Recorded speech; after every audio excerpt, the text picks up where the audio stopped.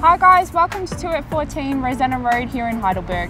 How good's this? We're currently standing in Warringal Parklands on this beautiful morning, which has direct access from the back of the property. Let's go take a look.